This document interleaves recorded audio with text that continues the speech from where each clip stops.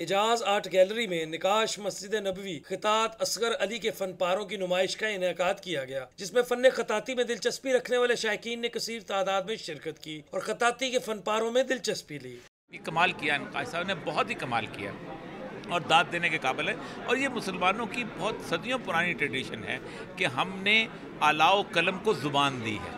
نمائش میں اصغر علی نے قرآنی آیات کو بڑی خوبصورتی سے اپنے کینوس پر مختلف خطوط کے ساتھ اتارا اور ان میں رنگوں کا بڑے حسین انداز سے استعمال کیا۔ گیلری انتظامیہ نے اصغر علی کے فن کو لاہوریوں کے لیے تحفہ قرار دیا۔ لوگ اپریشیٹ کریں گے۔ انشاءاللہ ہماری کوشش ہوتی ہے کہ نئے سے نئے لوگوں کو دکھائیں کام نئی سے نئی ٹیکنیک کے ساتھ نئے نئے نئے لوگوں کے چہرے آئیں سامنے۔